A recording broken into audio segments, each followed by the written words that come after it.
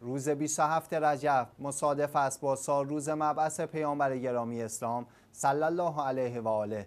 مسلمانان و به ویژه شیعیان در نقاط مختلف جهان سال روز فرخنده مبعث پیامبر اسلام را به جشن و سرور می‌پردازند و این عید را گرامی میدارند.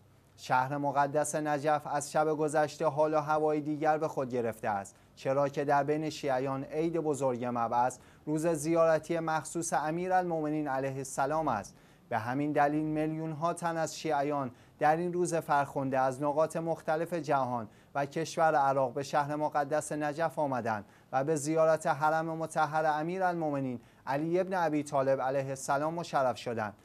شایان ذکر از آستان مقدس علوی نیز با تدارک مراسم و برنامه های متنوع از قبیل پخش جزوه هایی درباره روز عید سعید مبعث و نیز فضایل امیر المومنین علیه السلام از زائران و مجاوران آن حضرت پذیرایی کرد.